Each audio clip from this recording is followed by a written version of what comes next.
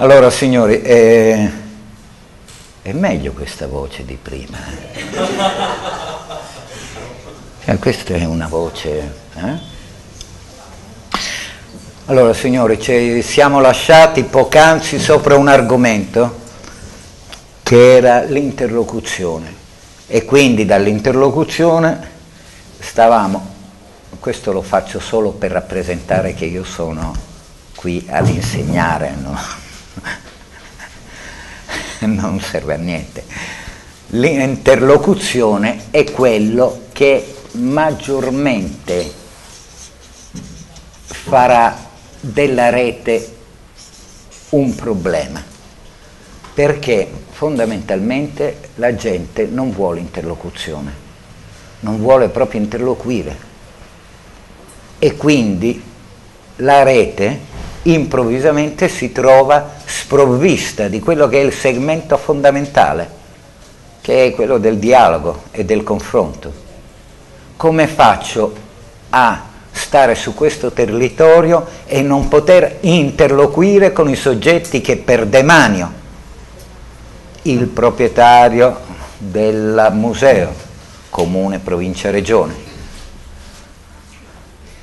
il gestore dei fondi, bandi regionali, bandi provinciali, bandi di Dio sa solo cosa, quelli predispongono atti senza interloquire tu vai là e dire mi presento, sono, sono io quello che vuole interloquire e loro rispondono tranquillamente, eh, che cosa vuoi? Ma li leggi giornali, l'articolo 18. Cosa fa la rete quindi? La rete improvvisamente Ecco perché da noi tutto è, è veramente faticoso. Improvvisamente deve reinventare l'interlocuzione. E come si reinventa l'interlocuzione? È come la storia di due innamorati. Uno è molto innamorato e l'altro proprio non ti risponde, neanche gli sms. È difficile a meno che tu non abdichi a quella che è l'idea normale.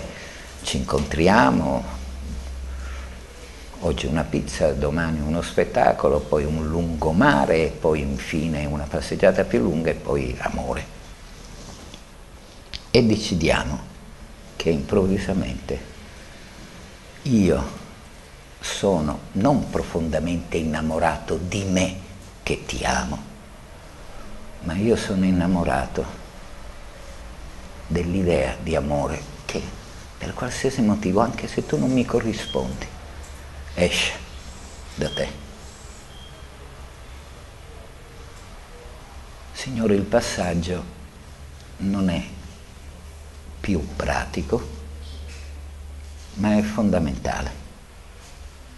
Perché è fondamentale? Perché improvvisamente noi dobbiamo fare i conti con una sola disciplina che nessuno ci verrà a misurare, che è dell'autenticità del nostro sentire e nel caso specifico del nostro amare. E proprio perché nessuno ce lo verrà a misurare e non c'ha ambiti di rappresentazione, è chiaro che tutto questo passa attraverso un setaccio che può essere a trama sottilissima o a trama larghissima. Ma perché questo? Dice, ma allora noi parliamo di rete la rete non è un'attività, non è una professione.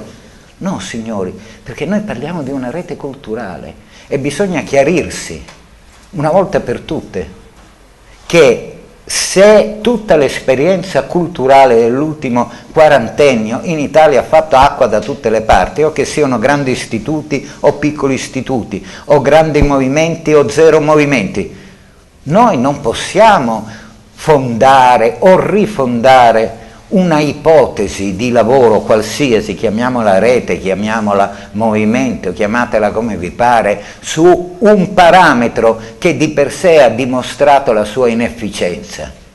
Le possibilità sono due. Non continuare ad accusare le persone che hanno esercitato quel parametro, ma entrare nel merito e capire se quel parametro è legittimo. Entriamo nello specifico, molti di voi qua si sono presentati dicendo Signore, io faccio teatro. Entriamo nello specifico e chiariamoci, molti di voi dicono, mi hanno detto qualcuno, io sono un ricercatore. Ricercatore, attore. Entriamo nello specifico perché piace rispondere alla praticità che ci suggeriva il vostro collega. Che significa? Entra nel merito e dice ma io ho fatto tre spettacoli. Entriamo nello specifico. Lei che cosa ha fatto? No, io ho ricercato alla biblioteca quella lì, eccetera, e poi ho fatto una bella ricerca su a quella... Um, a quella biblioteca di Lecce, entriamo nello specifico. Che cosa hai fatto tu attore e tu ricercatore? Nello specifico tu hai fatto quattro mesi, cinque mesi di prova per fare tre spettacoli. E tu ricercatore hai fatto un anno, due anni di biblioteca, dopo, eh, di biblioteca, tutte le declinazioni che vuoi, eccetera, eccetera, anzi ora ti avvali anche di internet per quanto possa essere parziale, perché ti sostituisce all'esperienza diretta. Detto questo, per avere che cosa? Se no una autoproduzione editoriale di una ricerca il prodotto così piccolo su quali fattori si basa? Sulla ricerca. Che cos'è la ricerca? Ore. E qual è quella dell'attore quando sta dentro una sala prove? Ore. Legittime, non legittime, è lento l'attore, è lento il regista, non me ne importa. Ore. Di che cosa? Se poi eh, va a tramutarsi tutto in un'ora e quindici, un atto unico. E allora improvvisamente capisci il limite. Al ricercatore gli si chiede la pubblicazione. Dice sì, vabbè, ma sta pubblicazione rimane una copia alla sede nazionale del Sant'Orsola Benincasa, eh, una copia alla biblioteca comunale e poi 20 copie all'editore che se qualcuno chiederà concedo la postale lo venderà. E mi si chiede a me la praticità o mi si chiede di capire fondamentalmente che c'è un problema interno al ricercatore ed esterno al ricercatore, interno all'attore ed esterno all'attore. Innanzitutto quest'attore fa che cosa? Quattro mesi di prove, tre mesi di prove. No, questo lavoro ci sono arrivato. Ah, eh. oh, sono stati quattro mesi durissimi. Di che? D'altra parte l'attore non può fare a meno, sì, può fare a meno, diciamocelo tra di noi, di quattro mesi di prova, il ricercatore un po' meno di un anno di ricerca, ma fondamentalmente che cosa pongono questi signori? Un valore tempo che non viene riconosciuto. È il tempo che non viene riconosciuto. Cos'è il tempo? È la qualità fondamentale di ogni impresa umana che si ispira ad un valore nuovo e non possiamo fondare ipotesi di rete piuttosto che di servizi eccetera ancora che non intendano quel tempo perché se noi continuiamo a creare dei modelli a fagocitare dei modelli importati, chi dalla produzione industriale, chi dalla produzione artigianale, che non intende il tempo, noi facciamo lì il gap culturale. E capiamoci chi siamo, perché solo attraverso il comprendersi e il tollerarsi per quello che siamo, dobbiamo tacere con le richieste e dobbiamo incominciare ad esercitare una pratica qualsiasi, ma ad esercitarla. Io mi chiamo libreria, ok? E mi potete trovare in legno bianco all'IKEA. Ho una funzione, aderisco bene o male anche a un criterio, sai, sono di legno. No, mica di plastica, di legno, quasi nobilito qualche cosa. Do la libertà, coloratemi come vi pare. Mi volete dare un colore un po' aggressivo perché vi siete lasciati dalla ragazza o dal ragazzo? Rosso. Mm? poi tanto mi scartavetrerete e diventerò color legno e poi prenderete un colore più riposante per gli occhi.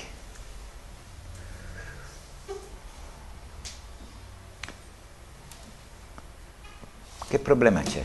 Sono una libreria di legno piuttosto che non di plastica e già diventa ecologica e posso essere verniciata con i colori che meglio vi passano nella testa. Poi improvvisamente entriamo a casa della signora sempre a rischio di ipocondria, parlo con lei, che, e vediamo che nel passare tra una camera e un'altra vediamo un altro mobile. Ci riconosciamo, siamo fratelli a lontana. Ciao libreria, ciao libreria, mi saluta e improvvisamente però io taccio, perché quel fratello alla lontana, che ne so, è più bello. No, non è più bello, è più importante. No, non è più importante. È più pregiato. No, non è più pregiato. Che cosa c'ha quello che io non ho?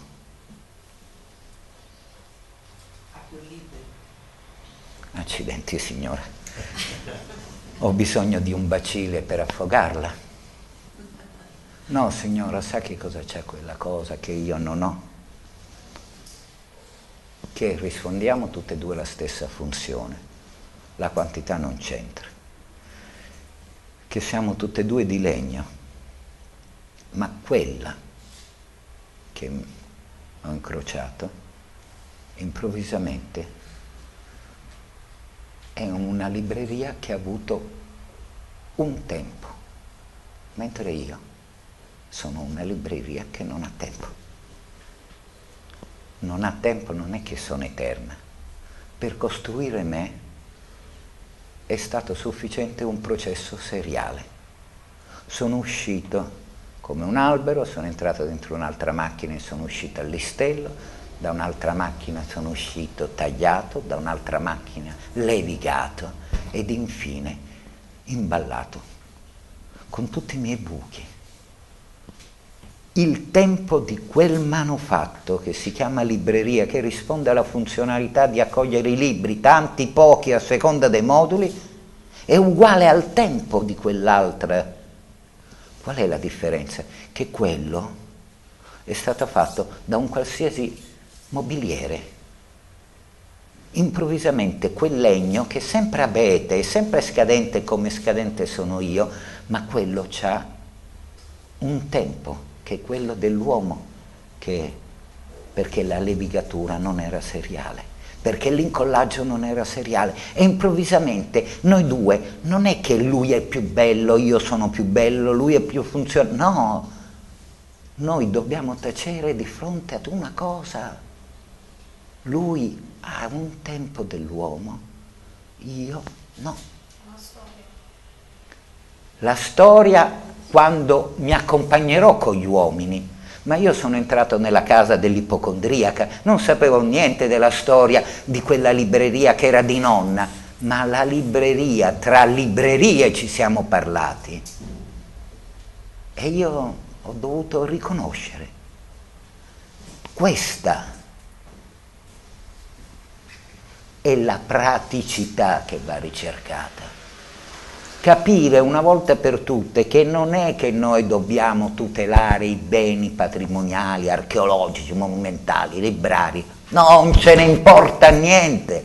Noi dobbiamo tutelare tutto ciò che è il tempo dell'uomo, perché solo in presenza di un tempo dell'uomo noi tracciamo una storia dell'uomo e parliamo con delle comunità degli uomini e troviamo l'unico argomento che non sia la funzionalità della pancia o fame, della rivolta a morte l'oppressore, ma ci possiamo incontrare su un terreno qualsiasi che è pratico perché il tempo dell'uomo è un tempo lungo una vita e non raccontateci frottole. 70 anni, 60 anni sono lunghe vite da impiegare. Quindi un pensiero, lei mi eh, invitava, è giusto appunto, entriamo nel pratico, ma a patto di non incorrere in quella fotocopia oziosa, perdita di tempo, bugiarda, falsa, di continuare a, a catturare giovani e non giovani, occupati e meno occupati, idealmente protesi e idealmente fermi su tematiche fasulle. Io non ti posso prendere per mano e chiederti vieni perché facciamo il nuovo.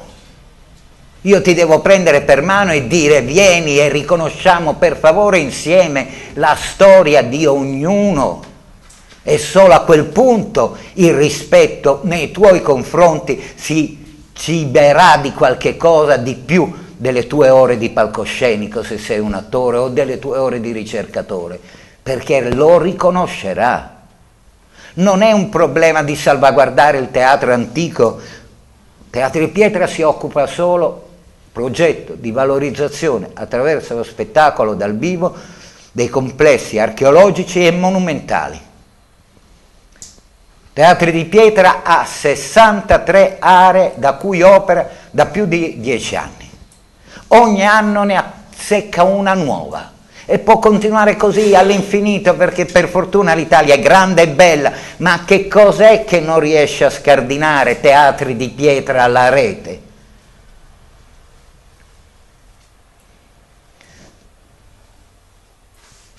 non riesce a scardinare la contraddizione. Com'è possibile che eh, il ministro Franceschini e questa banda di inetti culturali, comprese eh, delle eccellenze, si preme la testa per fare un bel pedana grande come il Colosseo, quindi per fortuna il Colosseo tu puoi entrare e guardarlo dal centro. Dopodiché leggi contemporaneamente, se n'è appena andato, l'ho fotografata perché a memoria, leggi contemporaneamente che il sindaco di Roma sta mandando 5 Boeing, 5 Jumbo, in America i reperti archeologici non catalogati, non catalogati dei musei capitolini. Poi nel frattempo quel sindaco, quella giunta e quel capo di governo dice aiutiamo i giovani.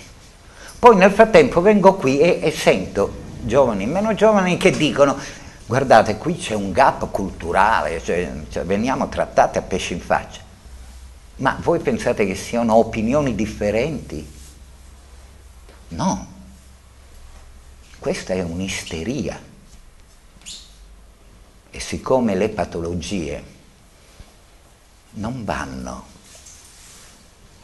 curate, vanno mantenute, perché le patologie sono alla regressione. Che cosa gli vuoi dire? Devi fermare e dire, scusa, ma chi sono gli attori di questa storia? Da una parte i giovani, la disoccupazione giovanile, dall'altra parte che hai tonnellate di università, compresa quella vostra di Bari che sfornano eh, sotto lettere, che cosa sfornano? Eh, specializzazione, no, sì, eh, specializzazione in conservazione dei beni culturali. Dall'altra parte c'è il più grande patrimonio del mondo che continuano a dire noi ce l'abbiamo quasi l'80% di tutto il patrimonio mondiale. Dall'altra parte c'è i teatranti che dicono ma ci fate lavorare come dico comando. Poi dall'altra parte abbiamo quelli che dicono noi siamo per l'identità dei nostri territori. Io mi chiamo Pugliese, voglio essere della Puglia e chiamami Pugliese, non voglio avere niente a che vedere con te che sei sardo. Chiamati sardegnolo, che così è offensivo, e non voglio avere più niente a che vedere. Ma è un'isteria. E uno all'interno dell'isteria o alza la voce o prende un randello oppure chiude la porta e dice Signore io esco. Perché nell'isteria. È inutile che dico di essermi incontrato con te, con te, con te. Le vostre istanze sono false e la rete non ha bisogno di istanze false Dice, ma come false? Lo sento, io lo credo fortemente, io mi chiamo donna, ho 30 anni, eh, sono disoccupata, ho studiato sino a 24, i miei genitori mi hanno aiutato, poi sono andato in una specializzazione, eh, mi chiamo archeologa, archeologo per modo di dire, mi chiamo attore, attore è un po' più difficile, no? Perché è meno come si dice, meno scienze umanistiche no? che l'archeologo. No, mi richiamo eh, professore, professore di lettere, mi chiamo professore di storia dell'arte, ma che cosa vuoi da me? Su che cosa dobbiamo dialogare? Su chi sei tu? Sul tuo curriculum? Allora, chi sono gli attori qua? Posso averne uno? Perfetto. Signora, se lei venisse a una delle selezioni a cui alcune volte mi chiamano per fare, sono sincero, lei eh, verrebbe sicuramente con il suo book, no? due fotografie e molto probabilmente un curriculum, credo. Io ormai, ma purtroppo ormai lo dico come ultima spiaggia, naturalmente confiderò solo ed esclusivamente sulla prova che lei farebbe con me, ma io poi le chiederei signora quante ore di palcoscenico ha? E lei mi direbbe X, perché non ci capiamo. E io entrerò nel particolare e le chiederò quante ore di spettacolo ha? E lei mi direbbe Y, e a quel punto io rintuzzerei e le chiederei, signora non mi presenti il curriculum, non mi fa vedere il libretto di lavoro.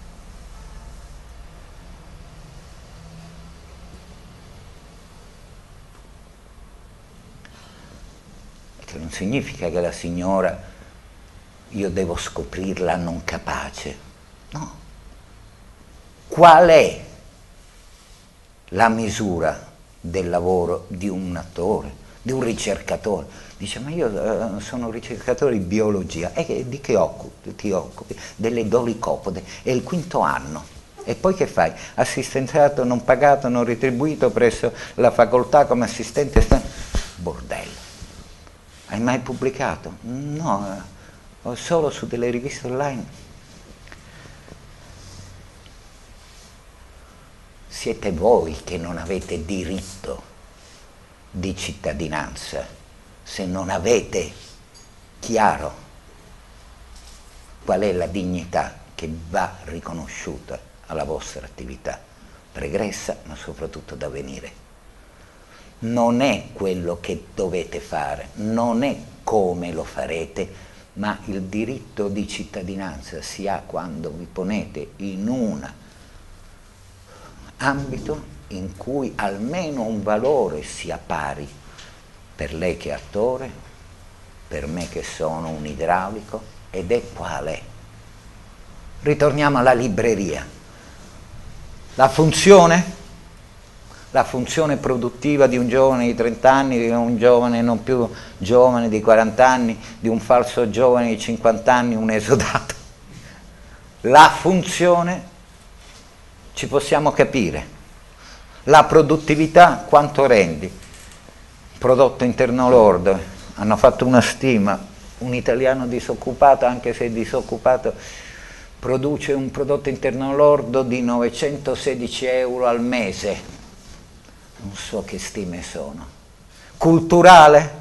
Culturale, che incidenza hai? Ne, no, sociale, che incidenza hai nel sociale? Non parlo delle opere di solidarietà che fai o che sia andare all'oratorio dei preti piuttosto che all'oratorio di lotta continua e in entrambi i casi prestare la tua opera gratuitamente oppure salvare i barboni o piuttosto che non eh, pulire i litorali piuttosto che non fare la marcia per la pace. Ti do cento sopra il coso. Ma qual è l'unico punto in comune tra me e te? È il rispetto della parolona, eh? rispetto della tua identità di tempo, prima ancora di essere storia. Diventa storia in relazione, in funzione. Perché eh, vai dall'intarsiatore e dici ma guarda com'è pregiato e quello ha un valore, che cosa gli dà quell'intarsiatore? La maestria, l'arte, il mestiere, ma che cosa gli ha dato? Il tempo. Vedi un quadro, ti piace o non ti piace, eccetera, però ne leggi la sapienza della pennellata, la minuziosa eh, ridistribuzione della scala cromatica, ti butti là dentro dici ma quanto tempo ci ha messo? e improvvisamente quello dà valore.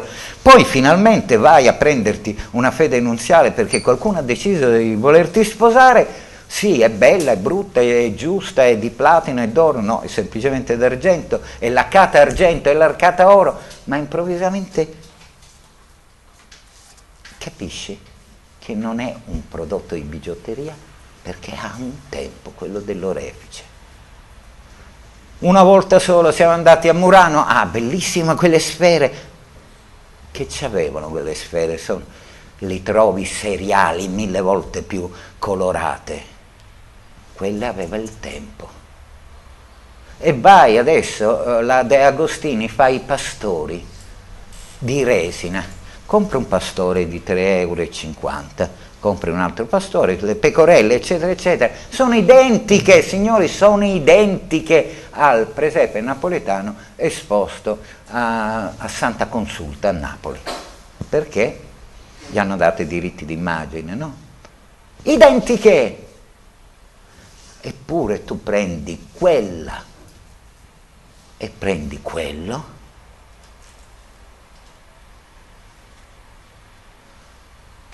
e dici questo è quello vero. Perché? Perché uno ha una proprietà che l'altro non può avere.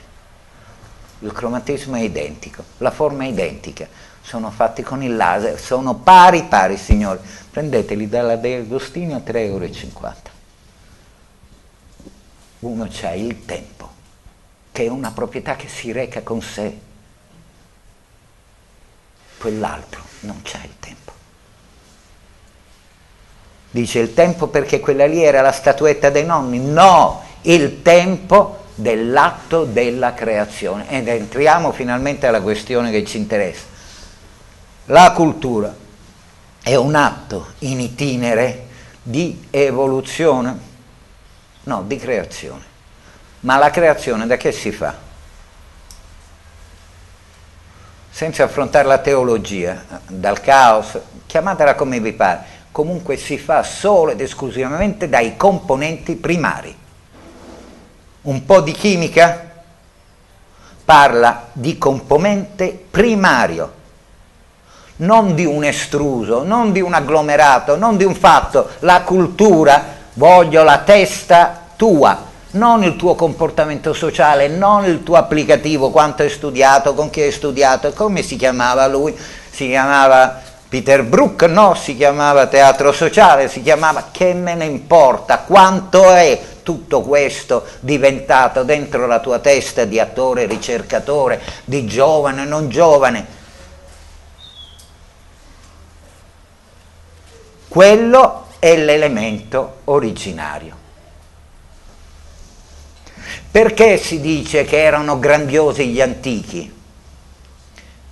Perché una pietra antica è diventata prima recinto, poi tempio, poi calce sminuzzata nel Medioevo, poi capitello, poi quello che ti pare, ma perché poggiava il suo sistema costruttivo su elementi originali. Pietra, pietra, travertino, travertino, idee, idee, non posture di idee, non imposture di finalità. Voi che cos'è la Puglia? Io non lo so che cos'è la Puglia, ma prima di andare a pensare che la Puglia possa essere una sede dei teatri di pietra perché c'ha un teatro, io direi che la Puglia sono le masserie, ma prima delle masserie, che io che non so niente della Puglia, no, sono lindo, cos'è la Puglia? L'olivo, io che non so niente. Il policentrismo culturale di chi? Di Federico II, puac, puac, puac, tutta sta roba come deve essere. Non significa che da domani eh, Laboratorio dal Basso fa eh, una serie di seminari sopra, eh, facciamo il Festival Federiciano. Questa è come la sagra della porchetta, dice perché fa la porchetta? Perché ci stanno un sacco di maiale ma io abito alle porte di Roma e c'è la sagra della castagna e non abbiamo un albero di castagne.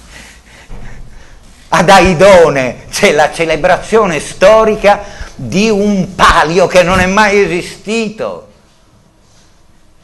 La perdonanza si è inventato il circuito dell'Atam, dell'Abruzzo e del Molise all'Aquila prima che crollasse eh, inventandosi un falso Sustino V, là, secondo, non ha mai da chiesto né dato il perdono.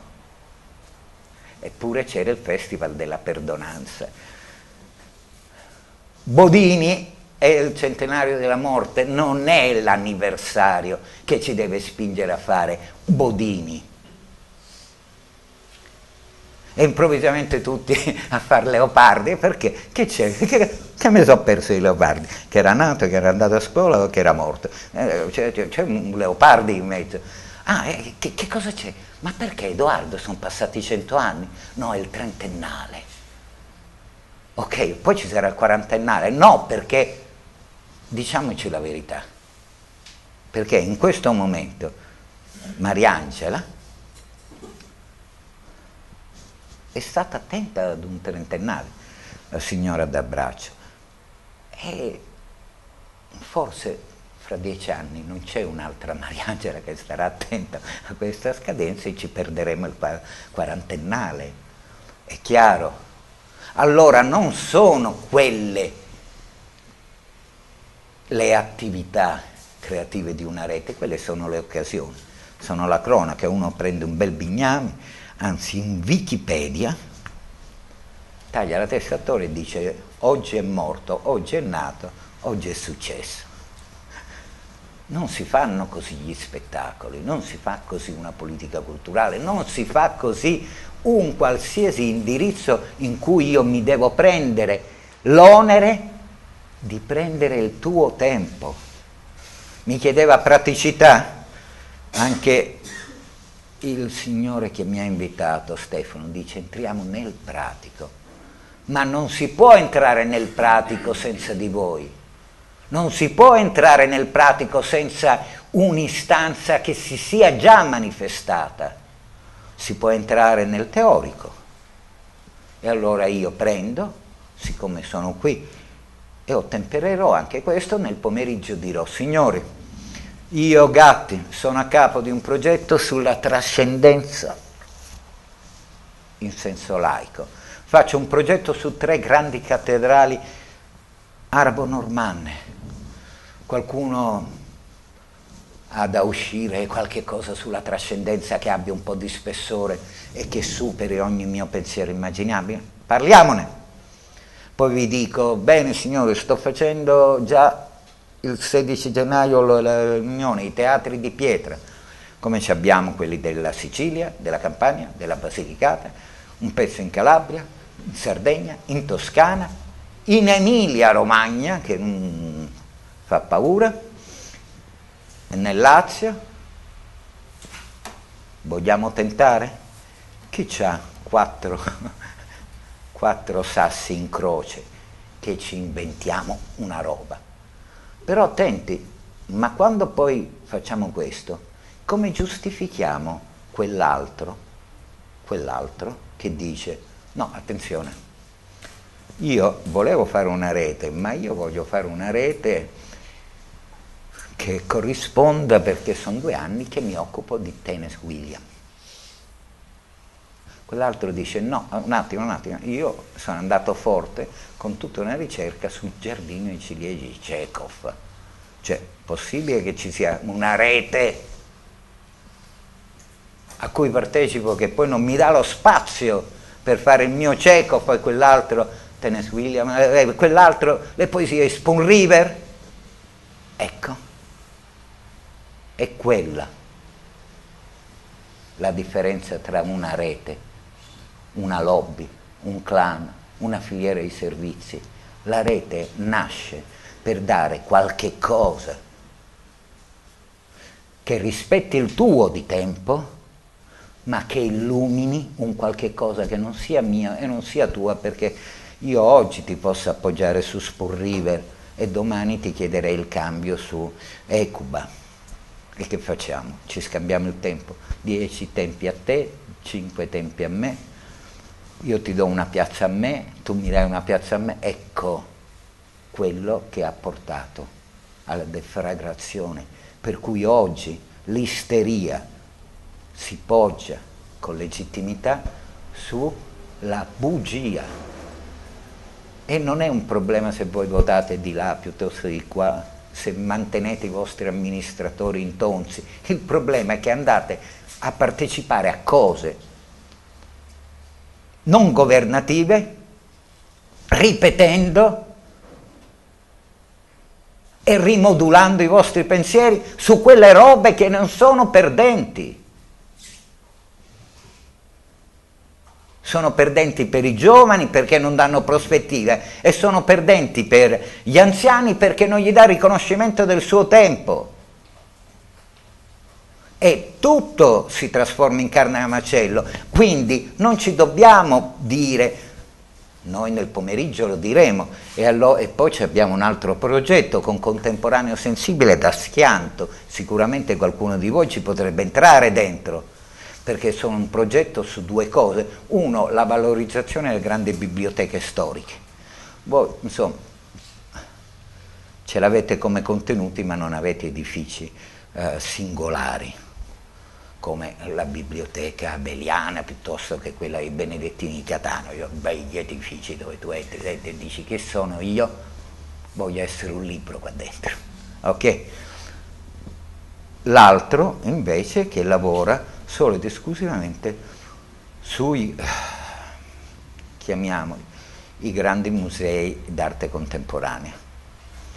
Due progetti eh, distinti, uno parte dalla Sicilia, l'altro in verità parte da Bergamo, che fanno molti, molti tasselli. Quindi ce ne sono di progetti che io nel pomeriggio, dopo che avremo fumato, fumato io mi permetterò di esporre, ma fondamentalmente a capirci, così siamo esemplari e speriamo che lo streaming poi non mi vengano a cercare a casa. In Sicilia c'è un organismo che si chiama la rete del contemporaneo. Io ho osservato le attività di questo organismo, aderisco pienamente a tutte le loro istanze, fondamentalmente va benissimo, peccato che c'è scritto la rete del contemporaneo. Doveva chiamarsi associazione di coloro che ritengono di aver diritto di praticare il contemporaneo. Continuavano a fare la stessa cosa e andava da Dio, perché la rete non può essere l'occasione per scambiarsi gli spettacoli, una rete non è l'escamotage per dire, eh signor Murciano che c'è un teatrino qua, quanto è piccolino, benissimo, io ho un altro teatrino là, piccolino, adesso ti passo 10 dei miei programmi, tu me ne passi 10 e casomai gliene mettiamo uno strano a te e uno strano a me. Quelli signori non è rete, quello è vivere male, in povertà, facendo un gran sinonimo all'impotenza reciproca, ma non è rete. Rete è se Murciano mi dice, senti io ho 30 ragazzi e sono problemi miei, ma sono disposto a portarli in dote pare a te, tu me li fai venire 30 in dote pare a te e incrociamoci in un punto di mezzo e facciamo una storia che possa essere uguale a te a me qual è forse? Quella del brigantaggio perché parliamo con la Basilicata? Allora improvvisamente siamo costretti a parlare con scena mediterranea della Basilicata. Allora come vedi non sono più un rapporto singolare, diventa plurale. Ma quello della Basilicata dice, bene ragazzi, tranquillo, io lo faccio perché mi piace la Basilicata è il punto di incontro tra te e te mette il teatro, eccetera, però siamo fessi ormai con Matera, capitale della cultura, mi sembra opportuno, perlomeno, se proprio dobbiamo parlare di briganti, parlare del brigante materano. E allora improvvisamente siamo costretti a parlare con il coordinamento di Matera, capitale europea per la cultura.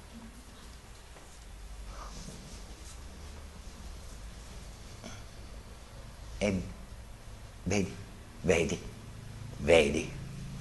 Ma questo com'è possibile? A patto che io, aiutato dal Signore che mi chiamava alla praticità, non sia arrivato dal Signore dicendo fai come ti pare, facciamo le cose insieme, ma io devo fare il mio spettacolo che si chiama Cyrano de Bergerac. Perché se io arrivo chiedendo a Murciano di ospitare il mio spettacolo Cyrano di Bergerac, Murciano mi ospiterà, suo, uh, mi ospiterà e in cambio dirà sì ok tu ti prendi Odessa, la figlia degli dei. E vedete non c'è nessuna rete, tutto si ferma là, non, niente procede, nulla si inventa. Quindi Passaggio ancora più avanti. È logico che c'è l'infatuazione sulla comunicazione con i telefonini, con le cose, eccetera, perché per comunicarsi uno scambio di tipo commerciale basta. Anzi, se un telefonino un poco munito, ci puoi mandare anche il fax, anche la firma, la PEC, e se invece io mi devo incontrare con Murciano perché nel preciso momento che abbiamo detto io porto i miei 30, tu porti i 30, però vediamoci in Basilicata e la Basilicata ha già detto scusate ma venite in Basilicata, ma siamo scemi. È una grande opportunità per la cultura. Vedete come i pensieri diventano pratici. Ci vuole niente ma a condizione che noi non siamo solo ed esclusivamente venditori della nostra autoreferenza. Perché io sono sicuro che dentro questa Camera, questo consesso, ci saranno, quanti siete? Dieci, dieci esperienze esemplari, dieci percorsi unici, dieci sensibilità straordinarie. Tutto al top, ma fondamentalmente se voi non avete l'esercizio della pratica, non dico del collettivo, del plurale, con voi io non posso fare niente. Se ho un di più di produzione in termini di denari, di tempo, posso dire va bene, Laboratorio al Basso, vuoi che do un seguito a questa esperienza di questo incontro? Va bene, mandami tre attori e vedremo di metterli. Questo è rete secondo voi? questo corona la diversità? Vi dispiace, faccio delle domande, ma per, fare, per capire io, vi chiedo semplicemente l'attività principale lavorativa e l'attività principale a cui vi dedicate. Lei, la sua attività principale? Consolatore. Ok. È anche lavorativa? Cioè ci mangia, fa solo l'attore? Fa solo l'attore? Perfetto. Quindi lei mangia e vive solo con l'attore. È così? Perfetto. Signora, lei? Sono un'attrice. Lei è attrice, quindi lei mangia e professa eh, il teatro. Lei?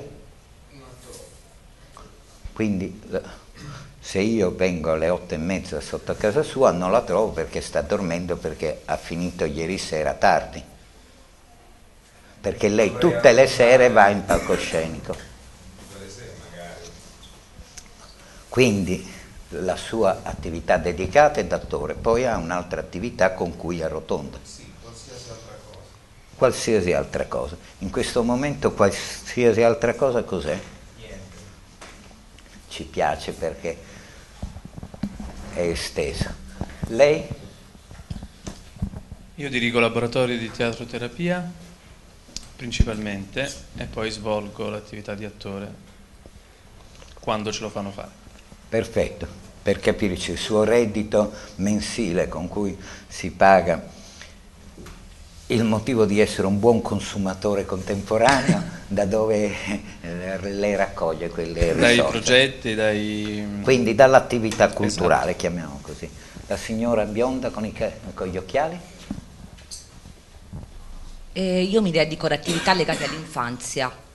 Okay. Eh, nello specifico eh, mi occupo, faccio di animazione teatrale con burattini, pupazzi, Quindi? Muppets. Quindi il mio tempo libero è dedicato alla costruzione dei, ah, dei, dei pupazzi, dei mappi. Esatto, dei burattini. Ok, e quindi eh, potremmo definire la sua attività eh, didattico-educativa, esatto.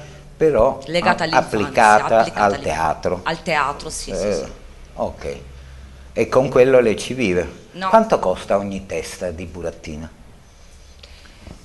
Allora, diciamo, un, senza considerare il tempo che dedico alla costruzione, che comunque è, eh, dovrebbe essere quantificabile anche a livello monetario, eh, solo di materiali, ehm, dipende dalle stoffe che si scelgono, devo dire la verità. Quindi e dipende lei... anche dalla qualità dei materiali che si scelgono. Difficile dire esattamente. Quindi voi fate gomma piuma rivestito oppure esatto. eh, allora, io faccio... direttamente? Sì, allora o teste di legno con pasta di legno oppure gomma piuma eh, rivestita di eh, stoffa elastica. Ok. Questo con bocca mobile e anche animali. Signora in verde, lei che cos'è? Mm, io non mi occupo di teatro. Per fortuna. Me ne sono occupata indirettamente quando ho scritto una tesi sul teatro e insegno italiano a stranieri. Italiano agli stranieri? Studenti Erasmus. Quindi se le arrivano 10 eh, emigranti, lei gli insegna l'italiano? Sì. Mm? E comunque, e perché sta qui oggi? Per curiosità. Ah, per la curiosità è la madre di tutti i vizi. Eh, prego, lei che ride con una bella camicia a righe. Io mi dedico a, al teatro e insegno teatro all'Università della Terza e Libertà. Ok. E in più faccio l'attore.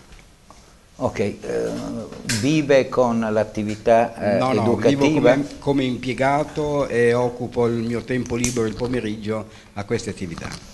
Questo è proprio da prendere in esempio. Trovatevi una vita di rappresentazione, un bel lavoro, un posto fisso, un part-time, eccetera, e poi fate quel tempo residuo quello che vi pare. Qualcuno vi potrà suggerire un problema di dilemma, però se abbiamo superato l'alienazione di Carlo Marx possiamo andare... abbiamo detto no, non era alienazione, il mondo è diviso, ok, va. Lei che fa? Scusate, è il signore con la giacca di, di pelle. Sì, pelle, renna. Pensionato, attore Nato. Ah, Io, io prendo, prendo già una pensione per una serie di contributi passati, però è chiaramente non vivo con quella. quindi voi siete entrati in pensione con 3.600 o 4.008 contributi? No, perché al tempo in cui facevo io teatro ne bastavano 900. Ed è. Adesso un danzatore deve portare 4.800 contributi. Perché cito il danzatore? Perché 4.800 contributi in un anno lavorativo che sono 240 giornate possibili, vu- vuole dire 10 anni, 20 anni in cui tu lavori tutti, sempre tutti i giorni e tenendo presente che mentre riconoscono alle hostess e agli steward che gli scoppiano le ovaie, quindi un lavoro che ha un margine di eh, logoro eh, professionale, al danzatore dicono no, no, tu hai finito, cioè tu hai ballato con la princesca piuttosto che Dio sa solo cosa. Vabbè, non ti preoccupare, per finire il tuo turno di vita lavorativa, eventualmente puoi fare la guardarobiera. Se queste cose sono possibili, signori, è perché non, c'è il rispetto della categoria o perché non c'è il rispetto del tempo della vita delle persone. C'è quella lì sotto l'acqua, sopra il selciato, faceva attento che se ti, ti rompi la gamba non puoi fare il saggio, aveva otto anni e poi il momento proprio straordinario del fiorire, della pubertà, invece di andare con gli amici, matta, andava a fare la sbarra e poi ehm, niente, poi gli è stato costretto. A 17 anni l'insegnante ha detto guarda se vuoi veramente devi andare a fare eh, i concorsi fuori. È stata fuori, la madre gli ha pagato, il padre gli ha pagato, è stata fuori, a 23 anni finalmente diventa eh, ballerina in fila a Stoccarda, eccetera, eccetera. Poi che cosa succede? Che una colonna vertebrale, grazie a Dio, non è come i pensieri degli attori, si logora. E logorandosi gli viene quello che viene a una colonna vertebrale. E a 43 anni non puoi fare più cambré e la schiena non si piega e quindi automaticamente sei un, un danzatore un po' di presenza. Sì, ti useranno per 3-4 anni a fare delle comparsate, delle belle passeggiate, ma poi c'è quella vita, quegli occhi che hanno visto ballare quel, là, quel bolle piuttosto che quell'altro. Io che sono stato all'Arena di Verona e ho visto proprio ho visto la Vassiliev che prendeva e diceva insomma traduzione non ce la farò stasera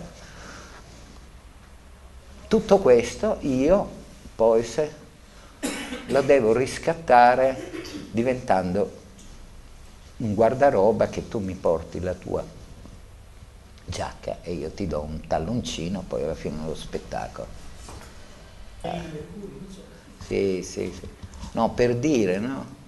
Io che mi trovo a dover passare, qui è il gap su cui voi, prima di raccontare quello che volete fare, vi dovete cimentare.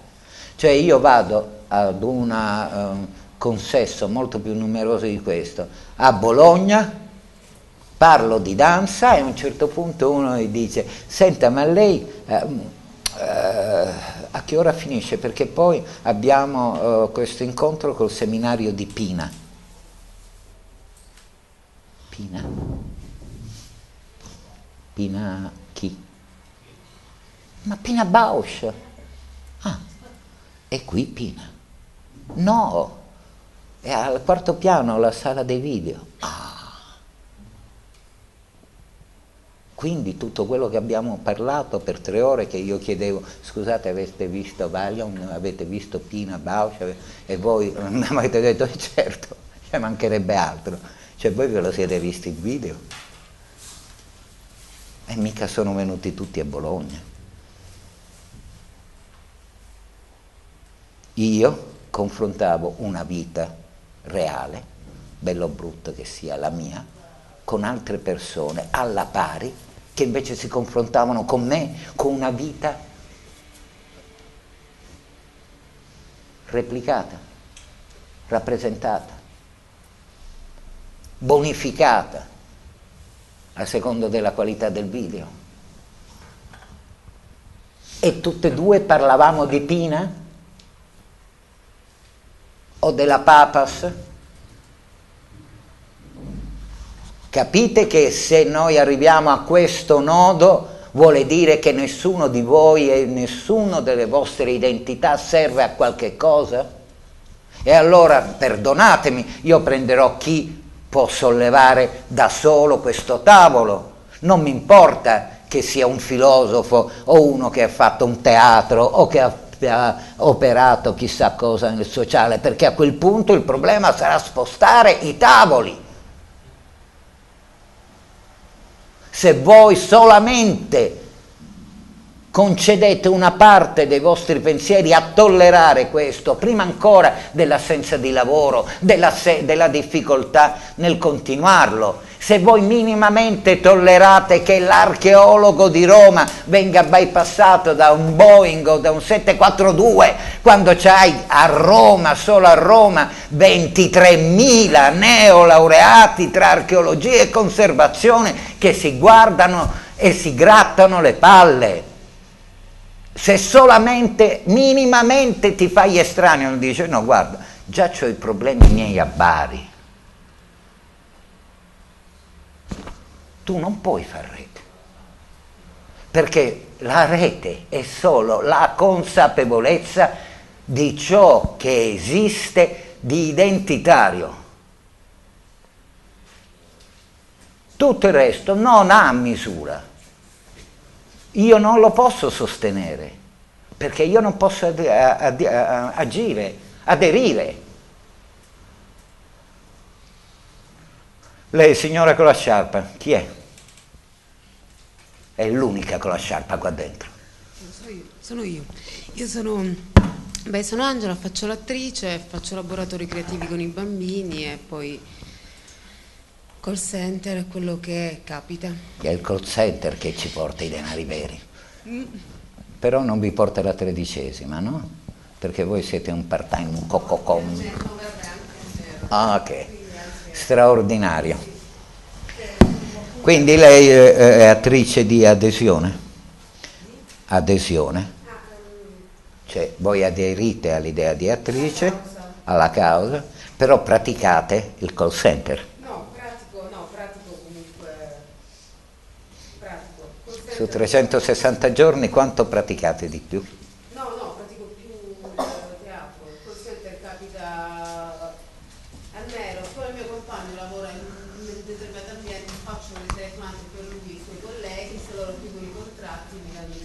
Che meravigliosa. Signori, passiamo dal fondo. Lei chi è?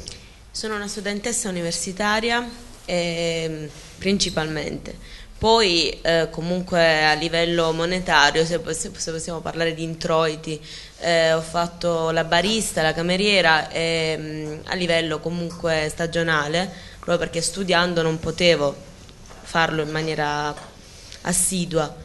Eh, sono appassionata di teatro, infatti il curriculum che ho scelto per l'università, l'Università Lettere, è proprio di cultura teatrale. Eh, ho fatto qualche partecipazione in qualche spettacolo. Mi tolga una curiosità, quante sì. volte va cambiata eh, l'acqua con il sale nella macchina del caffè? No, ecco, questa è una, una, buona domanda perché di regola dovrebbe essere fatto. Quante volte l'ha fatto lei? Ecco, io l'ho fatto spesso perché il, e nostro faceva lo spurgo dal... Lo spurgo si fa spesso per, si deve, per, a livello igienico. Si fa. Si lei deve quante fa... volte lo fa? Io lo faccio spesso, cioè okay. spesso le, le, le, spiego. Si dovrebbe fare a livello igienico sempre, quasi a ogni caffè praticamente. Solo che i titolari non te lo, non te lo chiedono assolutamente, anzi se lo fai Anche ti licenziano. perché devi fermare la macchina. Eh sì, perché è una questione allora, ra- signori, di rapidità. non è che a me interessa niente sì. dello spurgo no. e non volevo coinvolgervi sulla disciplina come meglio spurgare una buona macchina del caffè, meglio se gaggia è per capire che improvvisamente la signora viene qua e crede che il suo consesso, scusi che approfitto, sia quello un po' teatrale, culturale. E quindi mi dice, ho fatto quella recita, ho fatto quella scelta, eccetera, e di lei mi dà una faccia della luna. Ma noi sappiamo che la signora è, tonda e quindi c'è anche l'altra faccia della luna. La rete non se ne fa niente di una faccia della luna. Non è detto che la rete possa avere una necessità impellente dello spurgo della gaccia a quattro bracci, è chiaro? Ma è quella conoscenza che noi stranamente per un forma mentis riteniamo che questo non sia l'ambito, la rete ha bisogno di professionalità, ha bisogno di uomini a tutto tondo. Le professionalità, mi perdoni, io lavorando su più territori, che c'è un grafico qua, ne trovo uno meglio da un'altra parte. Che c'è un attore qua, ne trovo uno a, mi, mi, a minor prezzo da un'altra parte. Cosa c'è un elettricista, un datore luci? Se io devo confrontare le persone su un, quella ipotesi che si chiama mercato a fronte di una funzione, ognuno di voi può trovare un competitor migliore su che cosa non troverà competitor? Sull'unicità. E che cos'è che verrà dall'unicità? I vostri pensieri? No, bastate già su Facebook ad esprimere le vostre unicità. No, ve lo dà solo l'esperienza, per cui improvvisamente non so quanti di questi signori che hanno fatto i baristi, anche loro sanno del cambio della, dello spurgo colossale della macchina, perché sennò il caffè è una ciofega. Improvvisamente il consesso di persone che vogliono fare la stessa cosa, ma si poggiano non sulle autenticità referenziate o meno dell'argomento, ma sulle autenticità integre della persona.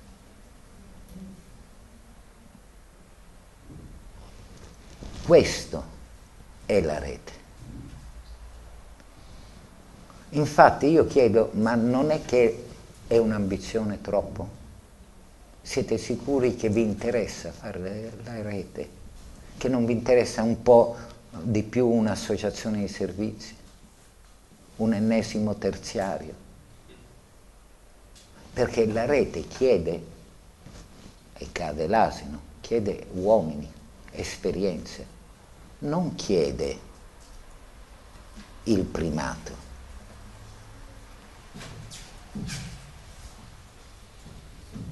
Posso, posso, fare un intervento in aggiunta? Signora, no, giusto perché. Io qua sono come lei. Certo. Diffi- eh, eh, pensi se è plurale che... il suo intervento no, no, ho aspettato singolare? che terminasse di parlare. Sì.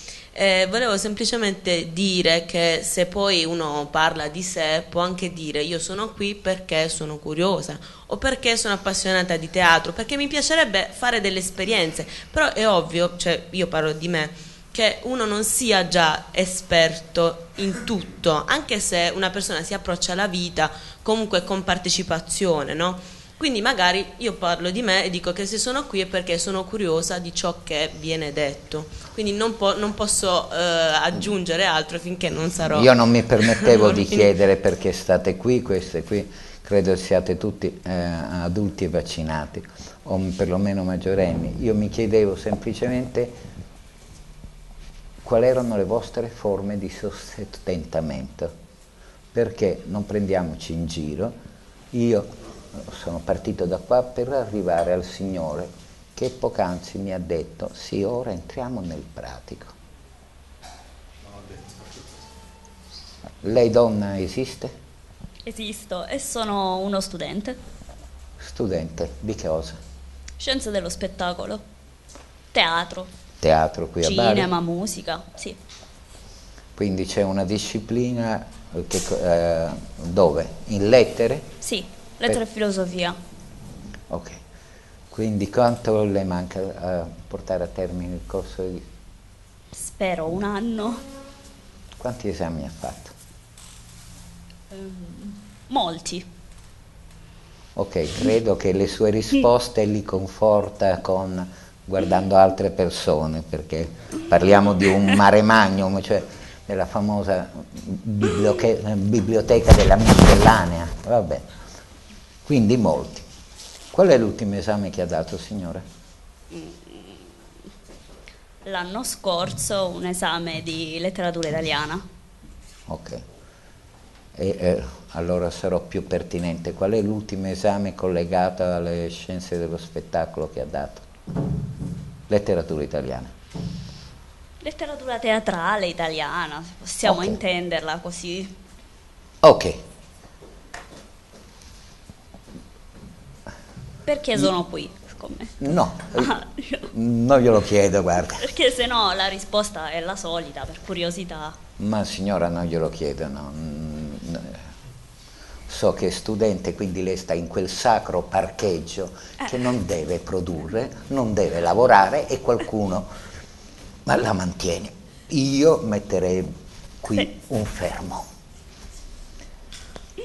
Posso approfittare di questa donna? Ah, c'è un'altra donna. Scusi. Appena arrivata, chiedo scusa. Ok, lei allora non mi permetto di chiedere perché sarebbe sconveniente per chi si è dovuto sorbire me per tre ore. Prego, signora attrice. Lei eh, è attrice, ho capito? Attrice, produco, diciamo, mh, sempre nei limiti che mi sono consentiti da- dai regolamenti e dalle norme vigenti attuali, insegno e dedico tutta la mia vita insomma a questo. Bandi, bandi, bandi, bandi. Mi alzo la mattina alle 6 e studio i bandi per poter attivarmi con... C'è, eh, c'è il rischio che diventa proprio una icona del terziario te- culturale. Ho già superato molte depressioni, diciamo. Ah, ok. Quindi lei ha superato la patologia con la sublimazione della, della Beh, diciamo malattia. che piuttosto che eh, sentirmi depressa in un modo, preferisco sentirmi depressa facendo quello che faccio. Vincente, posso sapere eh, Sì. lei come si sostiene, da quale fonte? Beh, tutto, recitando, insegnando, dai bandi, facendo consulenza. Quindi da quel, eh, comunque Sì. da quel comparto. Tutto e poi una percentuale, diciamo... Mi, mi- un po' mi imbarazza a dirlo, però mio padre è morto, mi ha lasciato un appartamento, è morto e ho pagato, la morte, ha pagato. E quindi questo appartamento, per fortuna, tra virgolette, se no sarei morta di fame, quindi Ok, comunque eh, fondamentalmente lei riesce per qualsiasi sorte a- a- ad essere solo nell'ambito anche per eh, um, ravvenire quelle che sono le risorse, perché diciamo di suo si può garantire un altro piccolo ambito, così. La signora in verde con un collo di sintetico Sì, verde. sono una studentessa, eh, lettere, eh, curriculum cultura teatrale. Ehm, E i capelli sono un nennè oppure no, sono verdi? non mi offenda, sono naturali. Signora, che ne so io se... Ma io Scherzo. co- come l'ho frequentata? Ho passato le mani nei suoi capelli, ho Scherzo. sentito la fibra intensa di un capello pugliese, oppure mi devo fidare degli occhi? Scherzo, ovviamente. Sono E quante naturali. donne il signor Murciano mi ha portato in un bar e io ho incrociato tre rosse e dicevo, ma sono tutte rosse qui a Bari. Poi ho detto no, ci avranno l'enne. Ora finalmente ho una donna qua vicino rossa, dico enne, mi dica che quale enne usa e No, è lei mi dice non mi offenda. No, non sembra una rossa. Faustina la Rossa nei racconti petrolini ed era una roba. Quella era una rossa autentica. Eh, mi dispiace. Lei con Faustina La Rossa che c'entra? Avanti. Eh, mi dispiace, ma... Eh? Niente, vabbè. Quindi è studentessa? Sì. Di che? Lettere, curriculum cultura teatrale. È sempre un Cultura indirizzo di teatrale. lettere, sì. Ok. Ah, quanto le manca a terminare? E sette esami, sette, otto esami. Quanto veloce? Speriamo velocissima, a ottobre si spera del prossimo anno. Ah, Speriamo. e avremo l'ennesimo dottore in lettere. È una laurea triennale, quindi in sostanza... Va bene, organizzeremo delle torte da No, no, non con intendo candele rosse. festeggiare, ecco. rosse, anche le candele. Va bene, Chissà, fatte con l'enne. Mm? va bene. Senta signora, posso sapere quanto è alta? Io? Eh no, io, Eh. se lo chiedo a lei. Io direi quanto sono bassa. Me lo può dire? 1,60. Mi sta dando del nano? Ah, Io sono 1,68. mi dispiace, non volevo offendere. È sempre più alto di me, però. Non ho capito quanto è alta lei. 1,60 più o meno. 1,70. 60 Ah, magari. 1,60. 60 magari. Eh,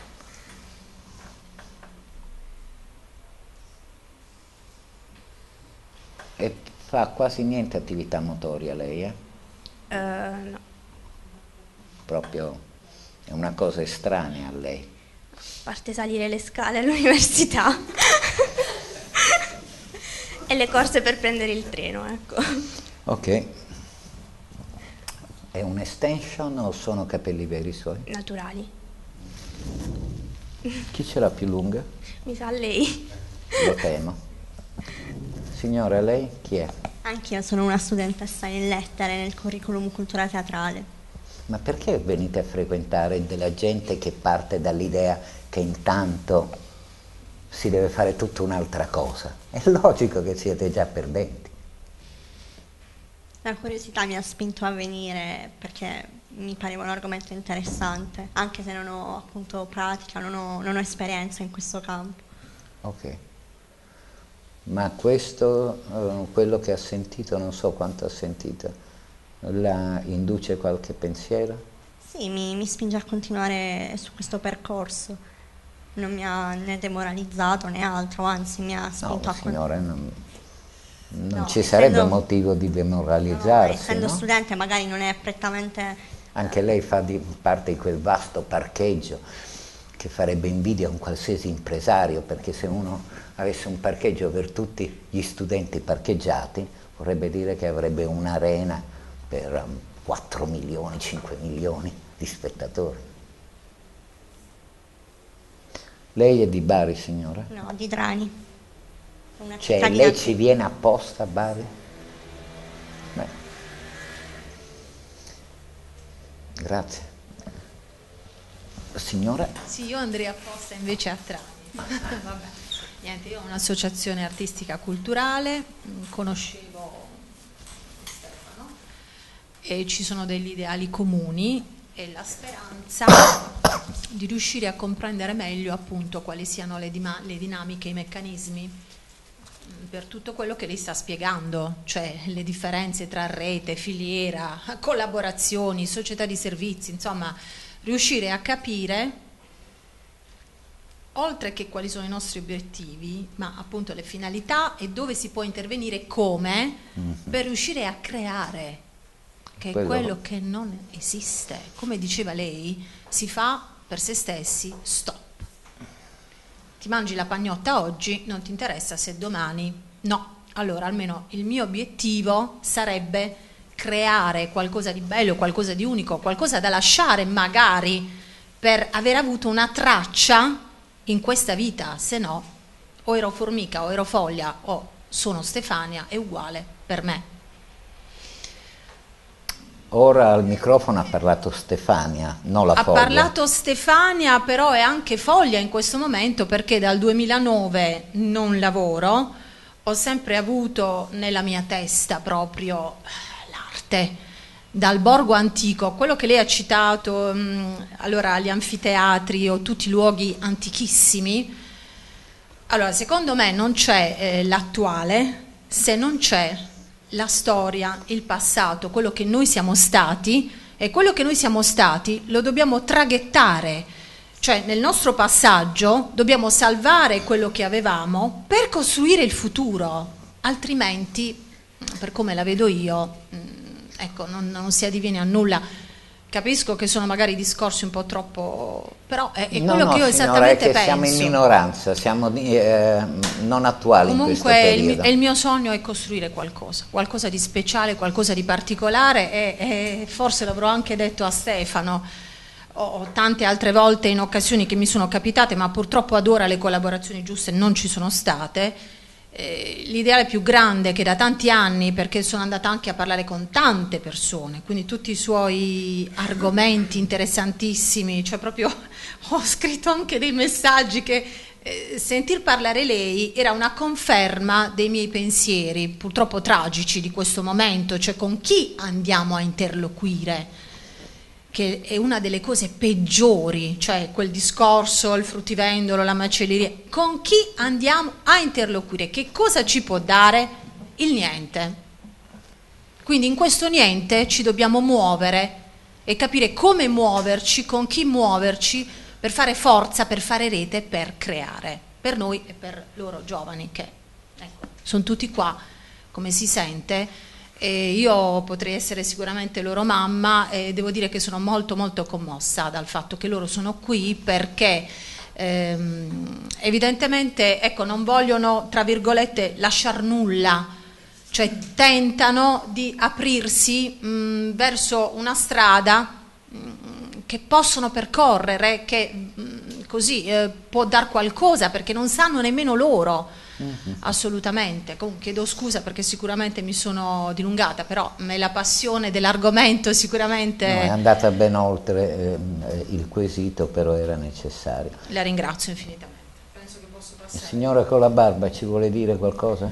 Sì, dunque, allora io ehm, mi divido da un lato nel, No, mia ci dica semplicemente la sua busta paga. Dove No, molto. No, no, busta, magari ce l'avessi una busta pa- a questo punto. No, e purtroppo mi occupo anche di teatro, sono un attore anch'io, quindi ehm, Cos'è l'ultima cosa che avete recitato? l'ultima cosa è stato un adattamento da La sgualdrina timorata di Sartre. Ehm, e abbiamo fatto questo spettacolo. Che naturalmente voi non eravate il protagonista, spero.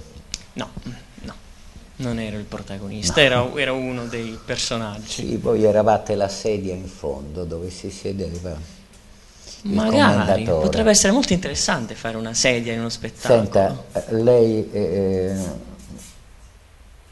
lei fondamentalmente si sostiene quindi con attività differenti da quelle del teatro.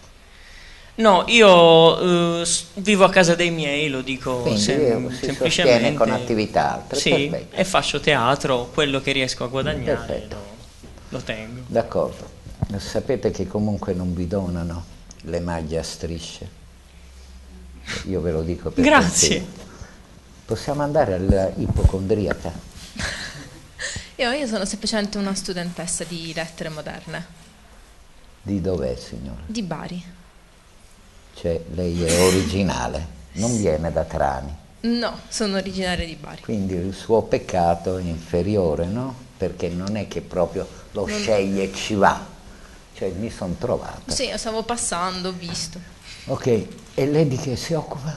Eh, io eh, sono studentessa lettere moderne, ogni tanto faccio ripetizione dei bambini per avere, racimolare qualche Quindi, soldo. eh, diciamo, è ancora domestica la sua eh, Sì, sì, conduzione. Senta, come può sostenere di, di stare a Bari e assistere a questo continuo scempio del teatro Margherita? Non, eh? Del teatro Margherita, che me ne dice? Dov'è finita la terza graticcia del teatro Petruzzelli di Bari? Sa perché nei libri europei, quindi in lingua francese, in lingua tedesca e in lingua inglese il Petruzzelli era riconosciuto non per quello che ci facevano dentro, per cosa? per le cartapeste e per l'altezza della graticcia. Cioè era il teatro è come dire un transatlantico non, non, per la grandezza del transatlantico, ma perché ha i motori atomici. Il Petruzzelli aveva tre graticce e la graticcia di, ehm, di Arlecchino, dove scendeva lo storico, e aveva un'altezza impressionante, era la più alta d'Europa.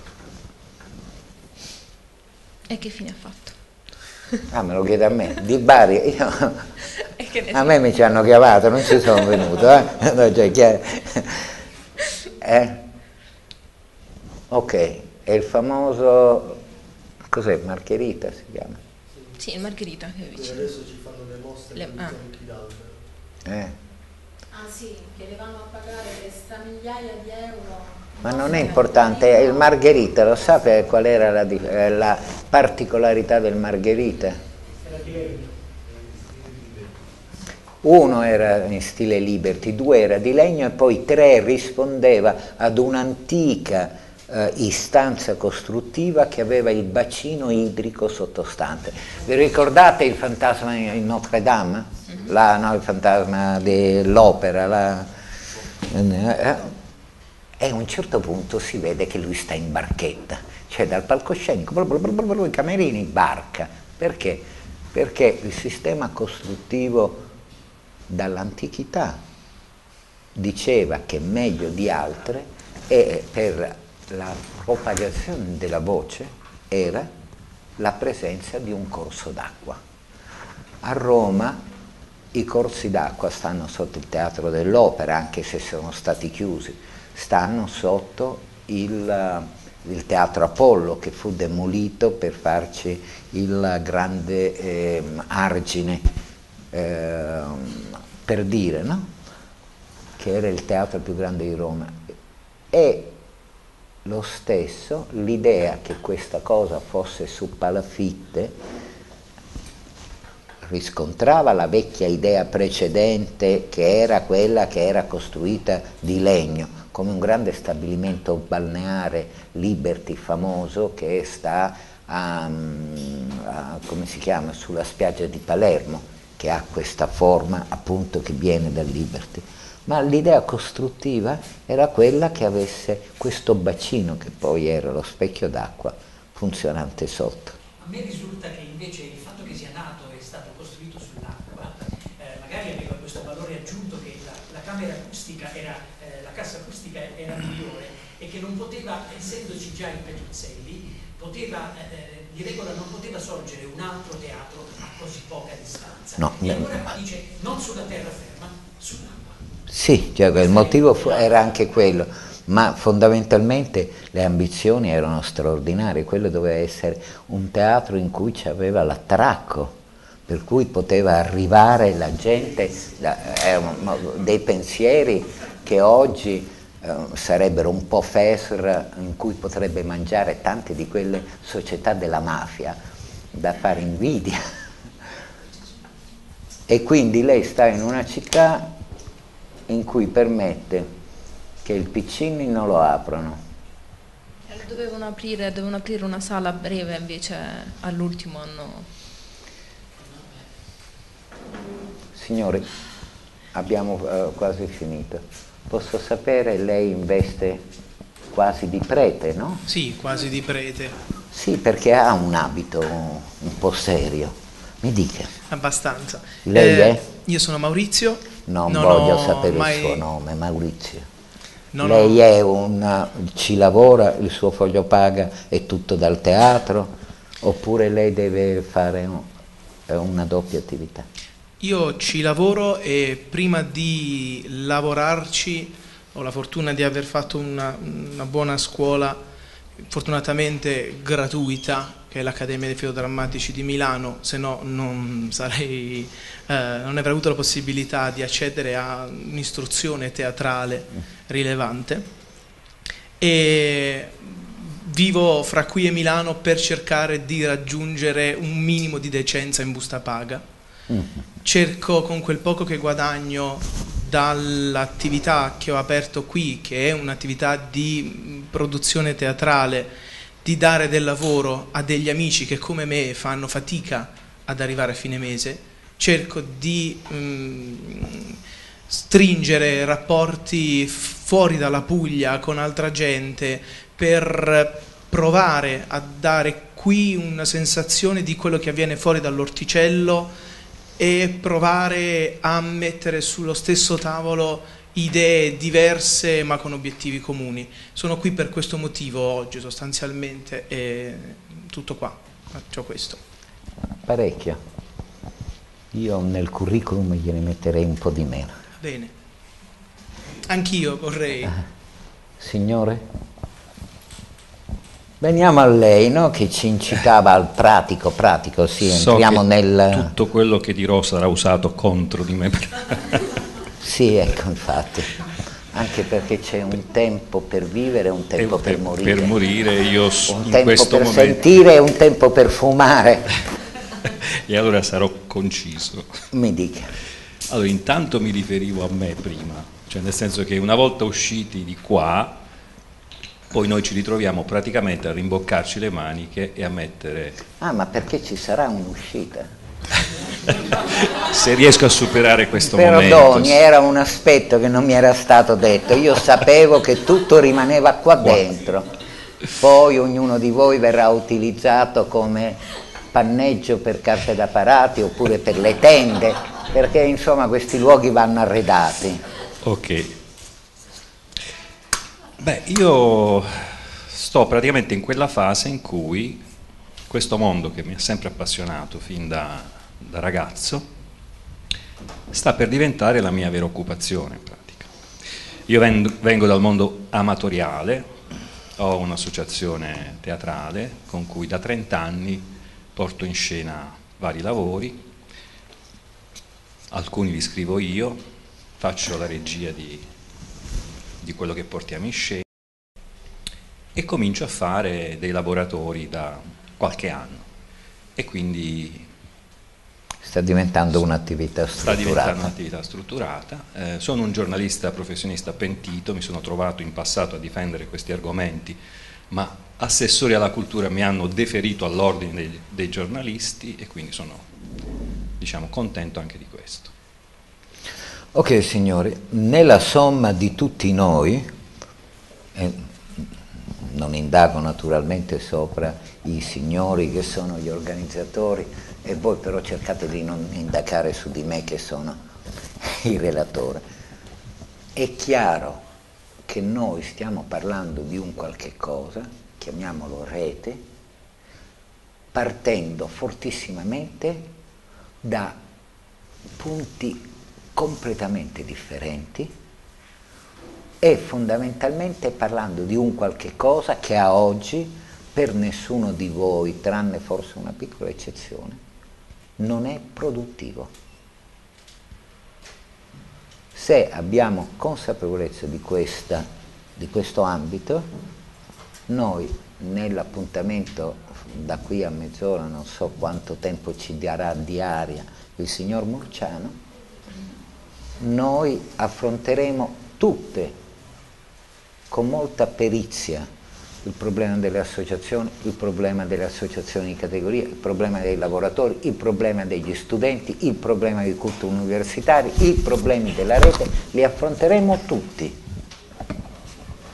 E anche molto brevemente, però vi prego non presentatevi nel pomeriggio se non avete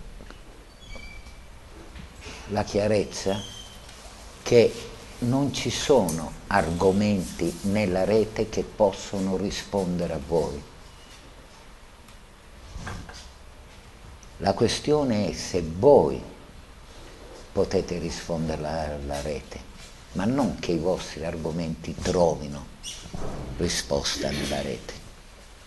Perché solo se abdicate a questa, che ne so, esondo di impotenza in cui a diverso titolo, dall'allieva all'attore, dal praticante a cosa, voi vi siete, diciamo, donati a questo ambito, cioè voi dovete fare un grande atto non di fede, di consapevolezza che voi, le vostre particolarità, non sono argomenti da rete.